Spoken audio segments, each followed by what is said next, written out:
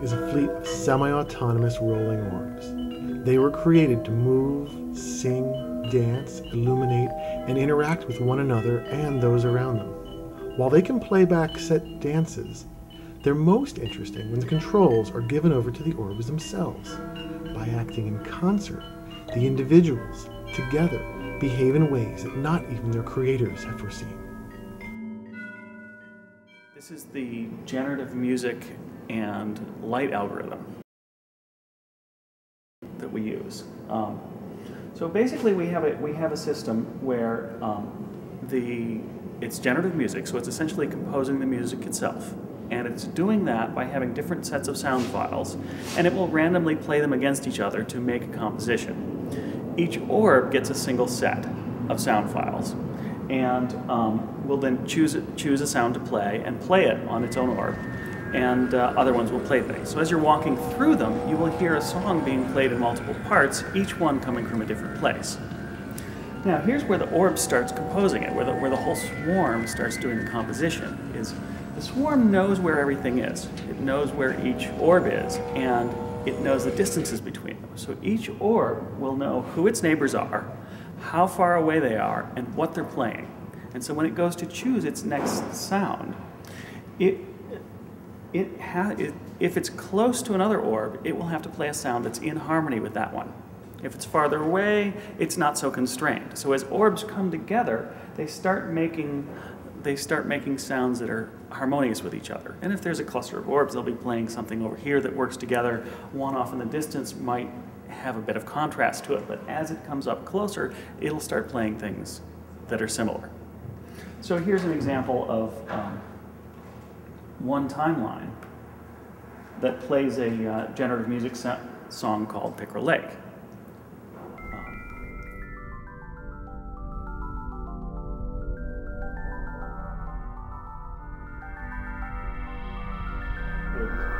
you can hear you can hear it choosing the different sounds as they move. Um, now we do a similar thing with the colors. If you look here, you have a you have you have a display of the color scheme. Now the colors are all kind of reds now. It's, it's an analogous color scheme. And if you look at the vector here, the, uh, the, the, colors basically go along with the different, different colors at different places, and they're all constrained to be close to each other geometrically. And you know what, what we just saw was the timeline changing what color scheme it uses. You can use a split complement. You can make them a triad so that they're, they're equidistant on the color wheel. And as you move this around, you can see the orbs changing color according to the color scheme. Um, now, the interesting thing is you can see these little numbers moving around. So what they're doing is the colors of each orb are taking a random walk. They get to move around a little bit.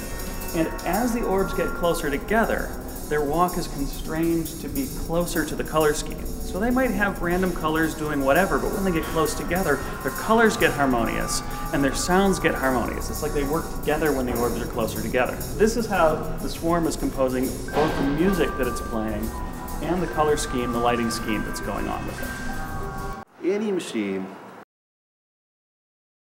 no matter how well designed, no matter how aesthetically envisioned, no matter how much its shape is evocative of things other machines, uh, other than machines, is going to seem ultimately like a machine. There's only so far that you can go to escape its machine nature.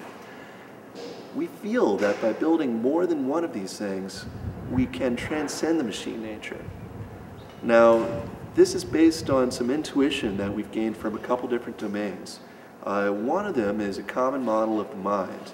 Uh, this model uh, was put forth by a man named Marvin Minsky. Uh, he wrote an excellent book called Society of Mind. In this book, he, he puts forth the idea that our persona, our consciousness, is not really a unitary existence. It's actually the result of several competing uh, functional agents within the brain. And these functional agents are constantly battling to control our own, our own personality. Uh, but the only way that the consciousness, the true, true life, the unpredictable, unpredictable nature of, of human life can arise is, is by this constant argument between these agents. No, it's obviously not alive.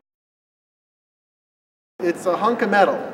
I, I pull the switch on the side and it stops. But it's alive. It, it's, a, it's about, the piece is about interaction. It's about uh, the, the, the, or- the orbs are interacting with, with each other. Uh, there's just all these complicated computer systems that, that make it so that, so that this thing knows where the other orbs are, knows where all of them are, and how they, how they work together. Uh, but what it's about is the orbs interacting with the people, or, or at least people, people seeing them as, as moving things. And it has to be a moving, physical, heavy, solid object. I don't view it as people dancing with the orbs or dancing with robots. I don't think they were dancing with robots. The fact that they're robotic is simply a way for these kinetic alt sculptures to be controlled in a very undefined way.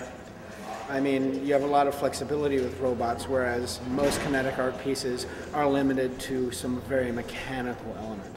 These are still mechanical, but they have a lot of flexibility due to the fact that they're robots. People weren't dancing with that fact. They don't care that they're robots. They care that they're beautiful and that they're moving. And that is what we have.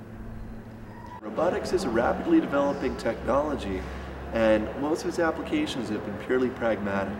This is why we wanted to use it and explore its soulful side, its humane side. In the future, there's going to be robots surrounding us. It'll be in our homes, in our workplace. It will be something that we see day to day. And if, if uh, we don't take the time to question their humane aspects, their emotional aspects, their, their aesthetic aspects, then we're going to be living in a very boring world. And people aren't used to seeing orbs. They're used to seeing robots in a certain way. They're used to seeing robots that walk, robots that roll on, you know, on, on, on wheels or on treads. Um, so something that is just a geometric shape um, and rolls um, and, and moves in different ways um, is interesting, and it kind of gets people thinking and, and looking at them and watching them. The Emergent behavior is an interesting concept. I mean, it, it uh, typically refers to things which uh, arise in complex systems uh, of, of many different natures. In, this case, of complex of a complex system consisting of many individuals, and you can direct the individuals in simple ways.